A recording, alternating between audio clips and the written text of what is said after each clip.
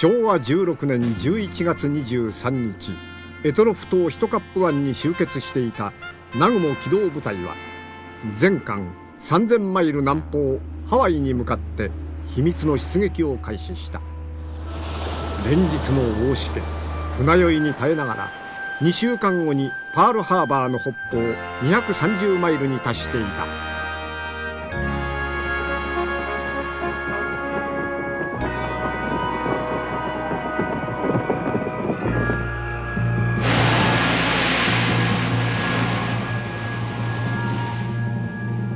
その頃アメリカは空母エンタープライズを中心としたハルゼー提督の機動部隊がウェーキ島近くに怒りを下ろしニュートン少将の艦隊も空母レキシントンを筆頭にミッドウェー島に向かっていた。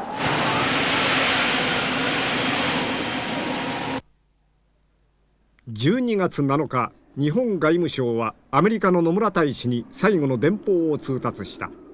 この暗号の全てを解読したルーズベルトは12月8日未明には日本は必ずハワイを攻撃してくると予想していた。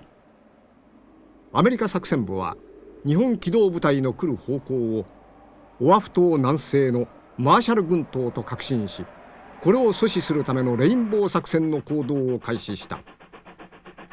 この作戦はアメリカ太平洋艦隊を12の部隊に編成しマーシャル方面からやってくる日本の奇襲攻撃に備えてオアフ島南西に哨戒機駆逐艦潜水艦などが警戒し日本軍を発見した場合ウェーキ島のエンタープライズやミッドウェー島のレキシントンから戦闘機を出撃させパールハーバーの戦艦部隊もこれに向けて発進させるアメリカ海軍が総力を結集した大作戦であっただがこのレインボー作戦は七色に輝かず大失敗に終わることになる。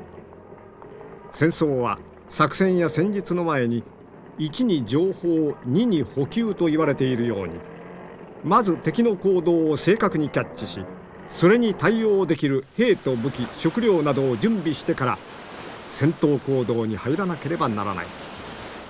アメリカ太平洋艦隊司令長官キンメル大将は情報を読み違えていた。航続距離が短い空母赤城飛龍総龍などを主流とした日本の機動部隊には北方からの航路は遠すぎる。冬のアリューシャンは例年の大しけで海は荒れまくり小型艦船ではハワイまで来られるはずはない。あとはマーシャル方面からやってくるしか方法はない。と大きな錯覚をしていた。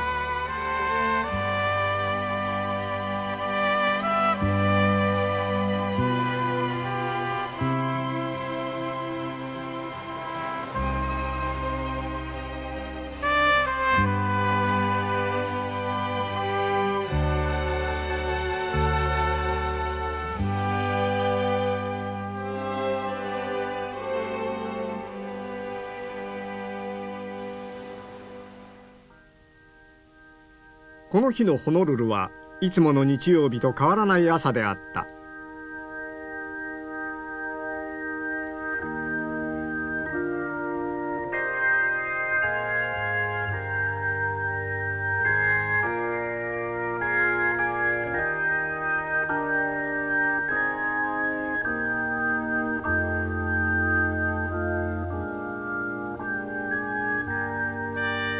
ラジオから流れてくる平和を祈るパイプオルガンが街角にこだましている。だがこの平和な演奏も長くは続かなかった。12月8日7時40分南雲機動部隊第1波183機突撃開始。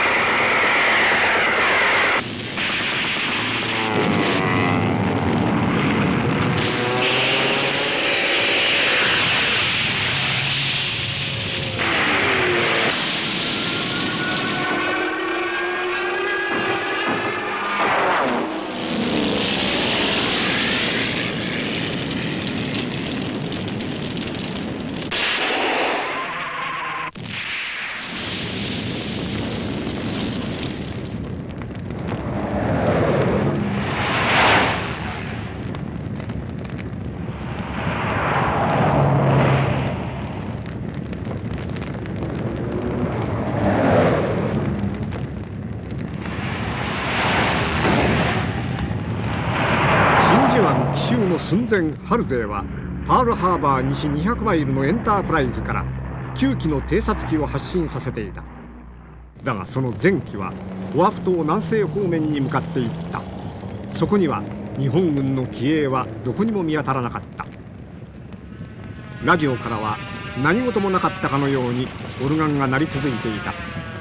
突然アナウンサーが妙なことを言い始めた。ただいまパールハーバーで大事件が起こっているのではないかという多数のお問い合わせがありますが何も起こっておりませんので局へ電話をおかけにならないでください。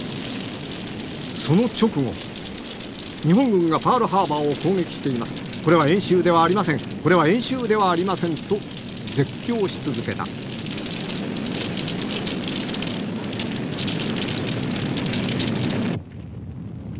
奇襲作戦は完璧であった。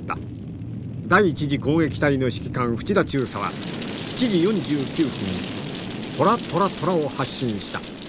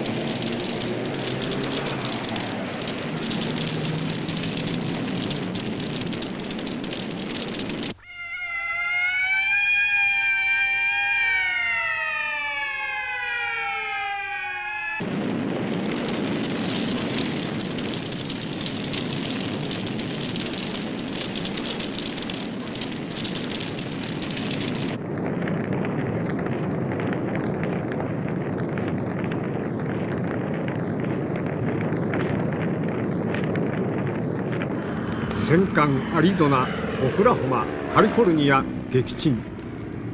大破された艦船15隻。失った飛行機188機。死者2403名。1200人近くが傷ついた。第二次大戦でアメリカが初めて受けた大きな傷であった。この傷が世界を大きく変える結果となっていく。アメリカの世論を結集させたルーズベルトはドイツイタリーに参戦しヨーロッパに兵を送り込んだ。昭和13年の春から夏にかけて当時海軍次官だった山本五十六は米内海軍大臣や井上軍務局長とともに陸軍と紛争していた。ドイツイタリーと手を組もうとしている陸軍青年将校たちに山本五十六は三国同盟すれば絶対に米英との戦争は避けられないと抵抗し続けていた。だが陸軍側の強い圧力に押しまくられて米内大臣と井上局長は役を下ろされ山本次官は次の年の8月30日連合艦隊司令長官に転出された。着任早々山本長官はもはや対艦巨砲の時代は終わっているのだと主張した。第一次大戦末期にドイツは潜水艦による海戦を発展させ世界最強の英国海軍を驚かせた。だがこれからの戦争は航空機による空母中心の機動力が勝敗の鍵となるであろう。真珠湾攻撃は連合艦隊司令長官山本五十六の華々しいデビュー戦であった。しかし当時の日本海軍は対艦巨砲主義を捨てきれず大和武蔵の完成を急いでいた自分の力で避けることができなかった戦争に自ら参戦し一番先に攻撃を仕掛けなければならなかった事態に苛立ちを感じながら山本長官は司令本部で奇襲成功の電報を待っていた。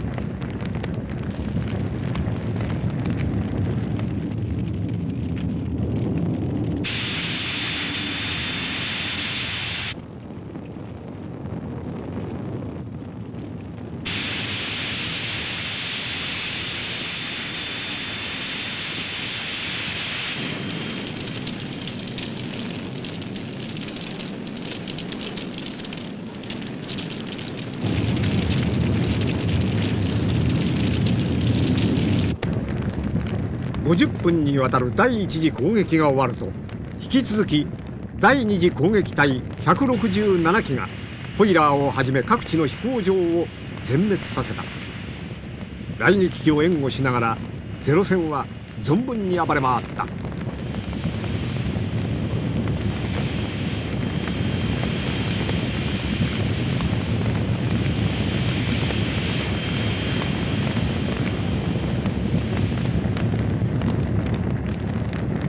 パールハーバーは燃え続けた。それは世界中が戦争に巻き込まれたことを示す巨大なのろしであった。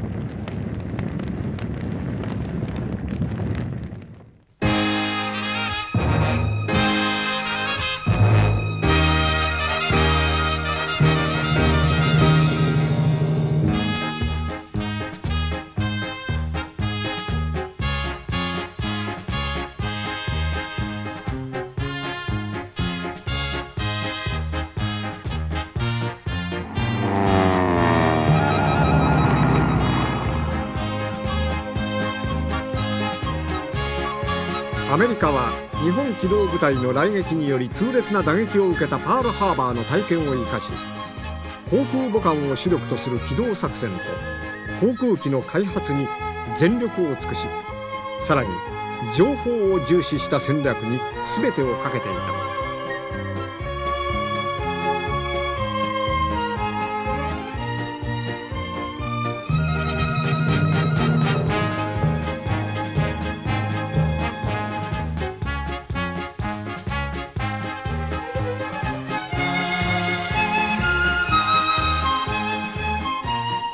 湾奇襲の大スペクタクルを撮影していた巨匠ジョン・フォードが次の海戦のクライマックスを記録するためにミッドウェーに向かう船に乗っていた。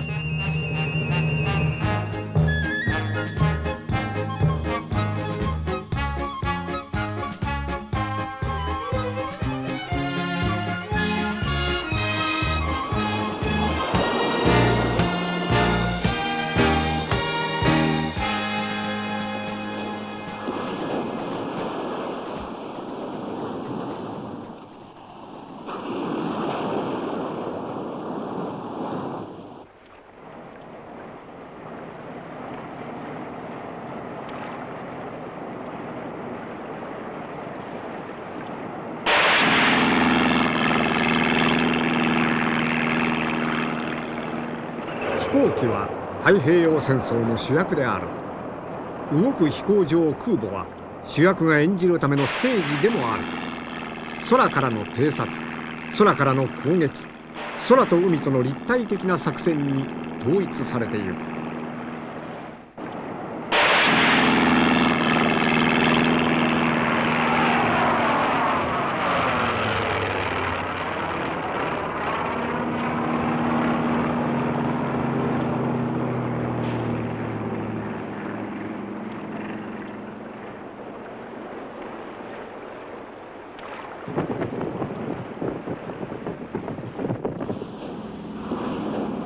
長い飛行距離を持つ陸軍の爆撃機を空母に乗せこれを発進させて東京を爆撃する。といった奇妙な作戦を海軍作戦参謀老大佐が考案し春勢中将は喜んでこれに同意し自分の指揮する空母に爆撃機16機を積み込んだ。春勢はこの作戦によって少しでもパールハーバーでの敗北の鬱憤が晴れればと思っていたかもしれない。昭和17年4月18日午前7時25分爆撃隊長ドゥーリットル中佐を先頭に500ポンド爆弾を積んだ B25 が東京の空へと発進していくアメリカ国民に軍の健在を示すためのデモンストレーションであった。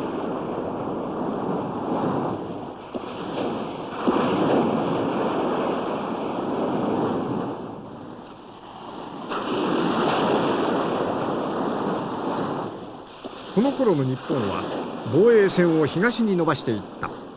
北はアリューシャンから南にミッドウェー。さらに赤道を越えてギルバートソロモンニューギニア。ミッドウェーはこの作戦の目玉であった。この島を占領すればハワイに上陸できる距離に入る。だが山本司令長官の作戦はアメリカ太平洋艦隊をミッドウェーにおびき出し壊滅させる目的だった。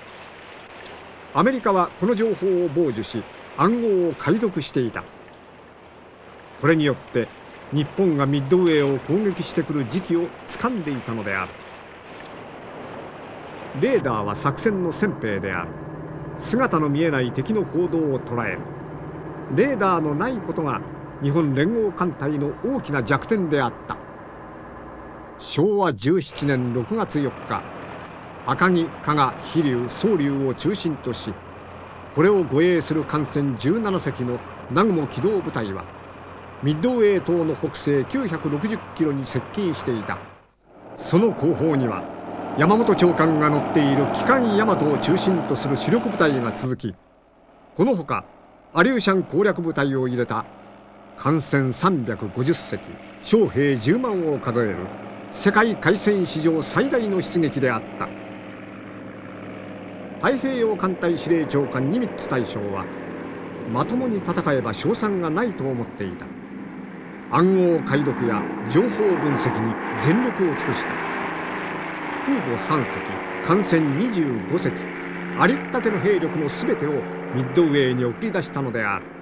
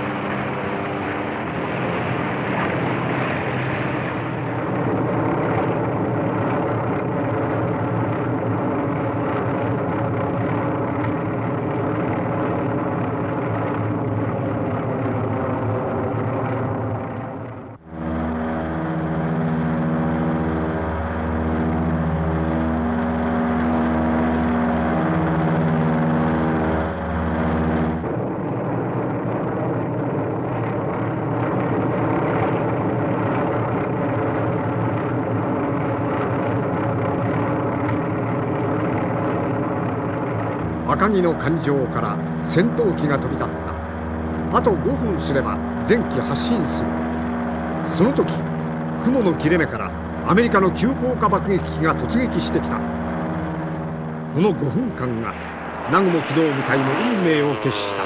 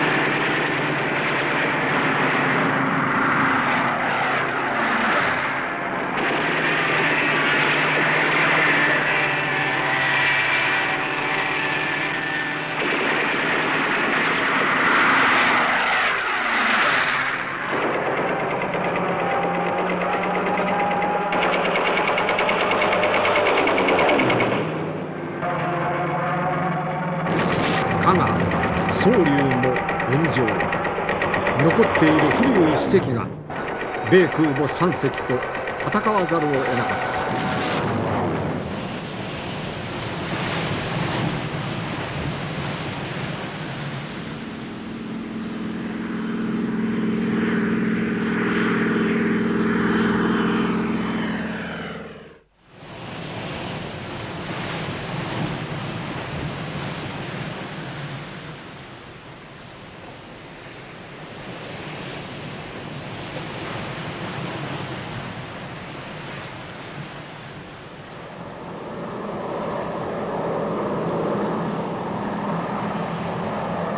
飛竜から発艦した攻撃機は空母ヨークタウンを襲った。その飛竜も集中攻撃を受け次第に傷ついていった。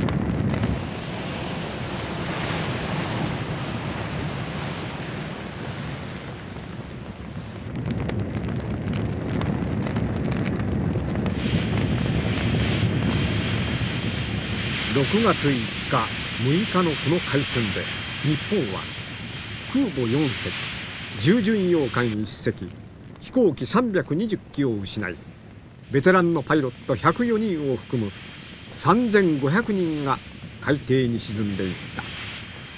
これに対しアメリカは空母1隻駆逐艦1隻飛行機150機と307人の兵を失っただけであった。日本はアメリカにパールハーバーの大敗北から立ち直るべく十分な時間を与えたことになる。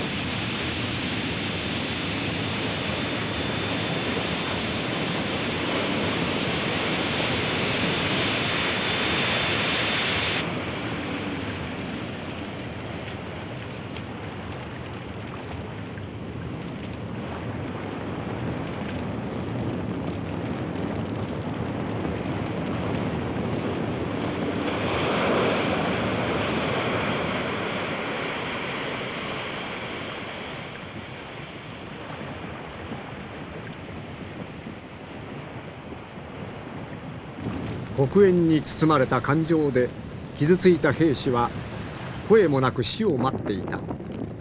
従軍牧師にとってもこれは厳しい試練であった。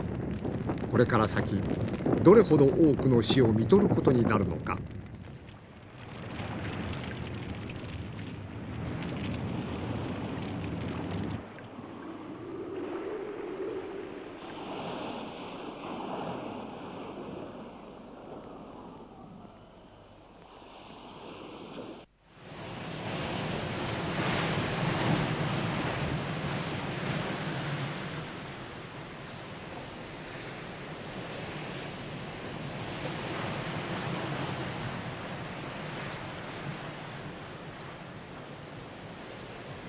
ミッドウェー海戦以後太平洋の空はアメリカが支配していた。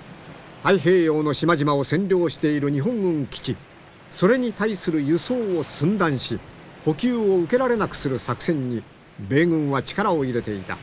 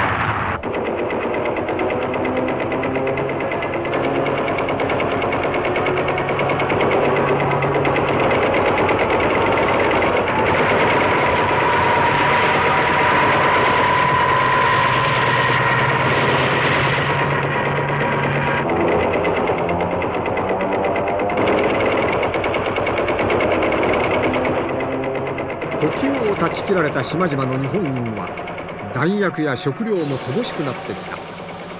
空からの攻撃に対して陸上の兵は全くの無力であった。攻撃ができない戦いは兵士の士気を失わせる。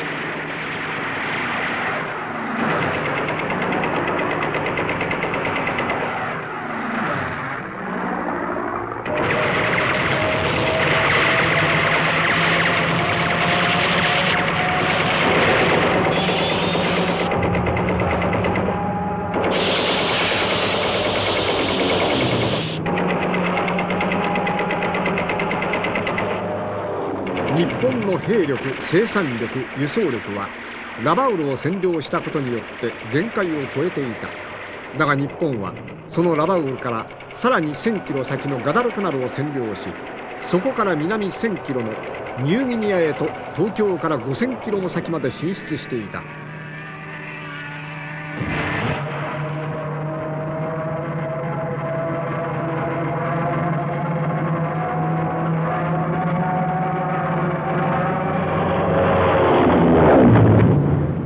和17年8月7日米軍はガダルカナル島に上陸開始した。この小さな島を失うことは日本にとってラバウルまで退却しさらに中部太平洋日本連合艦隊の基地であるトラック島を落とされる危機を意味している。トラックでは機関大和武蔵がソロモン海戦の指揮をしていた。そのため日本海軍はガダルカナル島奪還に総力を尽くした。この島の争奪戦は太平洋戦争の天王山であった。この戦いは制空権の戦いでもあった。両軍ともあるだけの艦船と航空兵力をつぎ込んでソロモン海上で力の限り戦い抜いた。戦いは壮絶を極めた。ガダルカナル争奪をめぐって戦った海空戦は8回。小さな戦いは100回近くも行われた。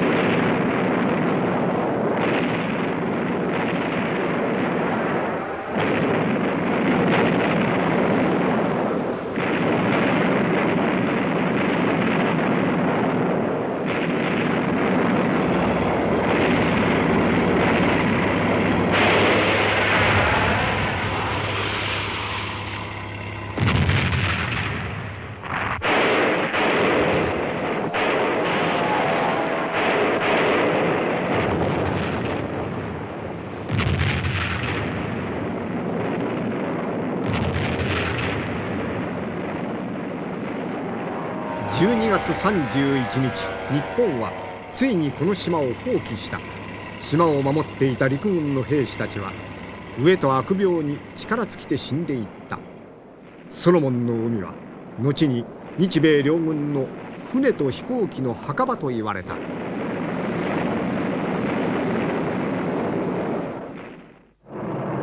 山本長官のもう一つの作戦は島々に飛行場を作り立航機を編成すればその近くに空母を出港させる必要はなくなる。今日で言えばプチン空母である。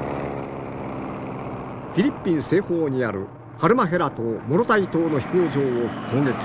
米軍はこの島々を占領し最後になるであろうと思われるレイテにおける大海戦に備えて飛行場の確保を急いでいた。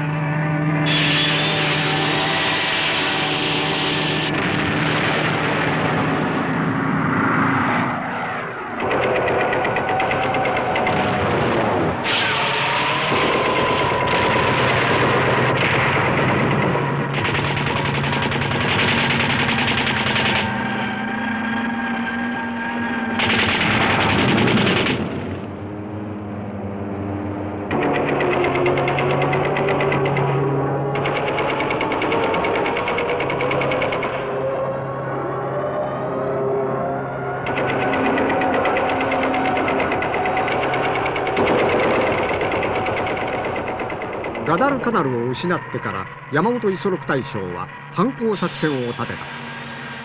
ソロモン諸島とニューギニア北方から進撃してくるマッカーサーに反撃しその間に第一線を思い切り交代し戦略の立て直しを図る。これ以外に日本を救う方法はない。優秀なパイロットを全てラバウルに集結。連続した航空戦を行いできる限り日本が立ち直る時間を稼ぐことが必要である。これが囲碁作戦であった。山本長官は陣頭に立ちラバウルから立航機に乗り込んでブーゲンビルに向かい到着寸前に戦死した。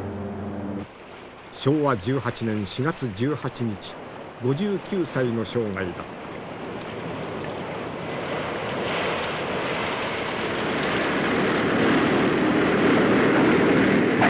What?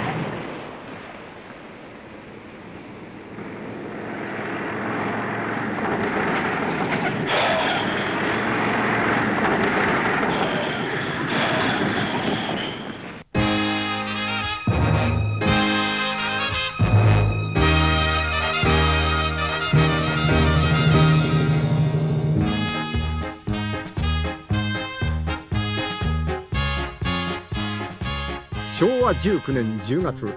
ハルゼー提督が指揮を執る高速機動部隊はレーテ島に向かっていた。2年前にアイシャルリターンといってフィリピンを去っていったマッカーサー。そのマッカーサー大将の率いる20万のレイテ上陸軍の大輸送船団をハルゼー部隊が援護しながらさらに西へ向かっていった。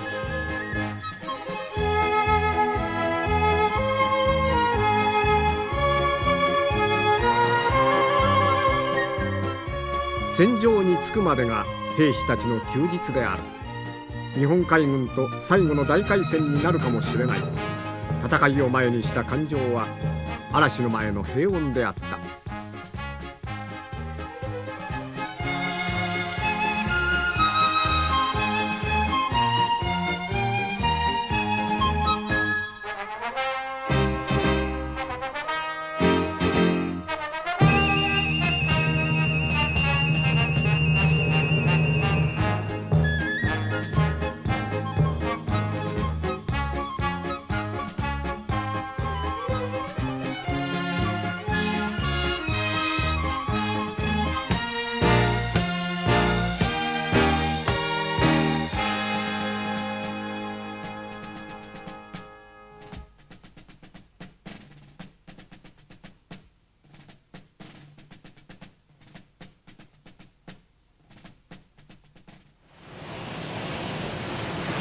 日本の連合艦隊は北からまっすぐに南下してきた。レイテ王旗は日本全土の1.5倍近くある。この広大な海域に日米両軍は総力を投入した。米軍は空母17隻艦船172隻上陸用艦船約700隻飛行機1300機。日本は戦艦大和以下77隻飛行機700機メイテ沖海戦はまさに史上最大の海戦であった。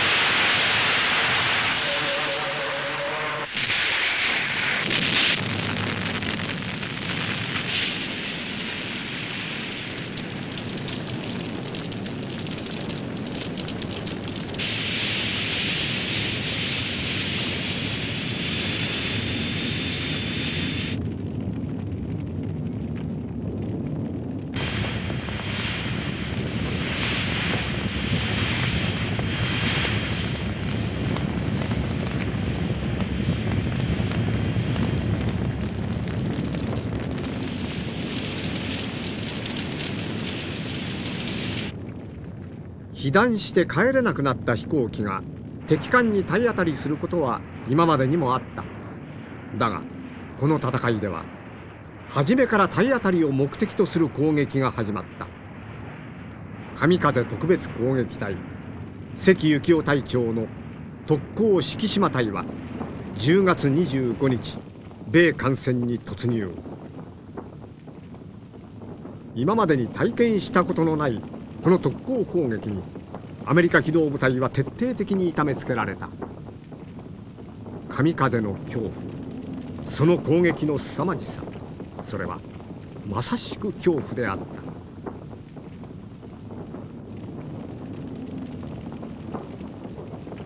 逃れる場所のない感情に鉄と肉が飛び散った。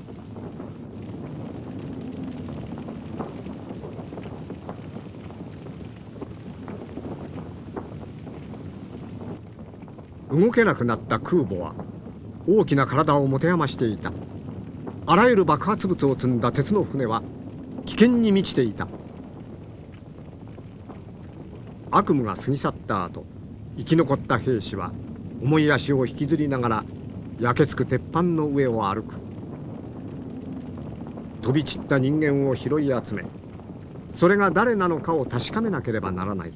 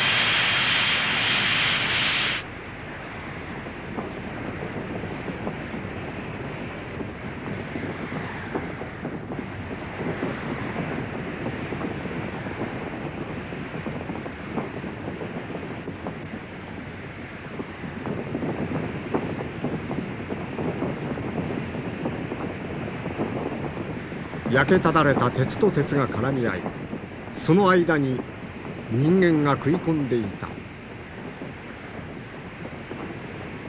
今度神風が襲ってきたら自分もこんな姿になる。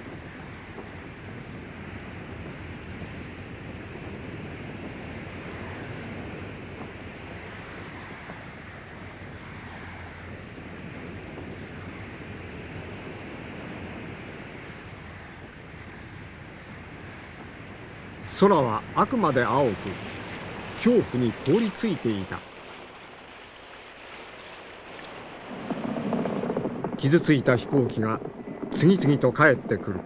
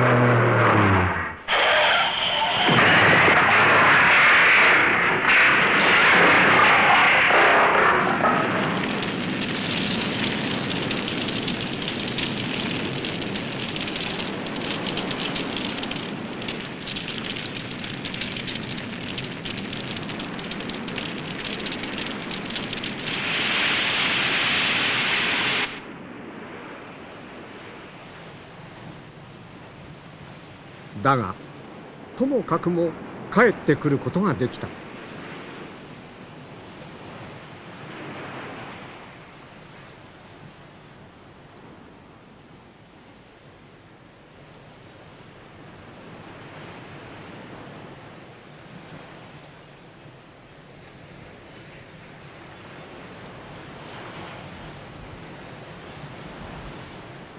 飛べなくなった飛行機は死んでいる昆虫のようである。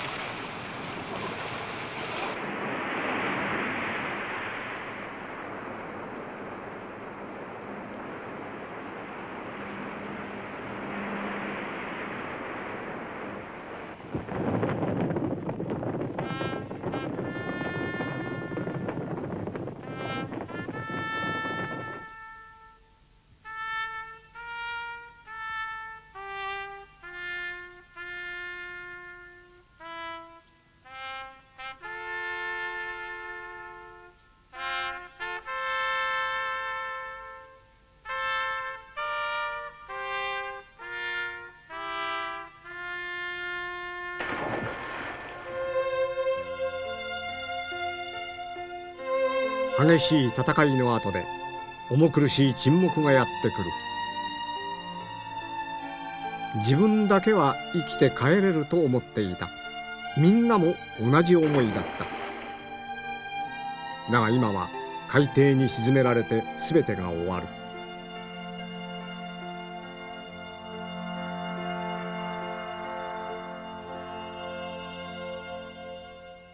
ほんの少しの違いが生死の分かれ目であった。それは取り返しのつかない大きな違いであった。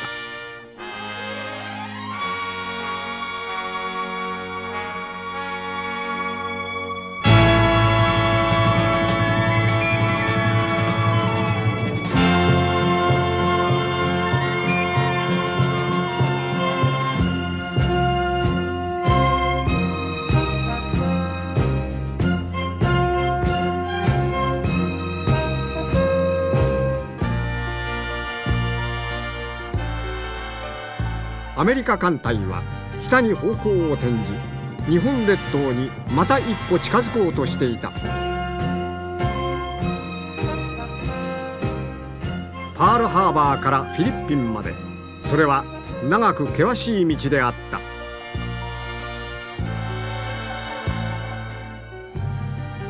昭和20年2月大艦隊は新しい戦場に向かって進んでいた。そこはどこかどの島か分かっていることはただそこにさらに激しい戦が待っているということだけであった。